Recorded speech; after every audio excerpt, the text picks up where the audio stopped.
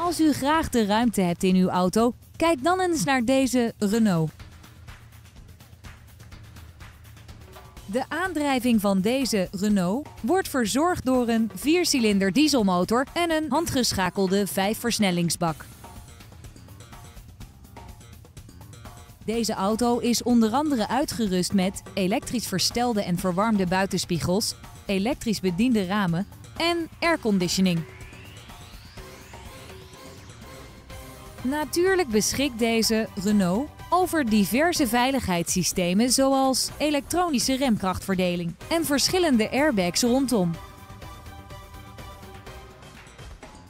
Wilt u een proefrit met deze Renault? Bel ons dan nu voor een afspraak.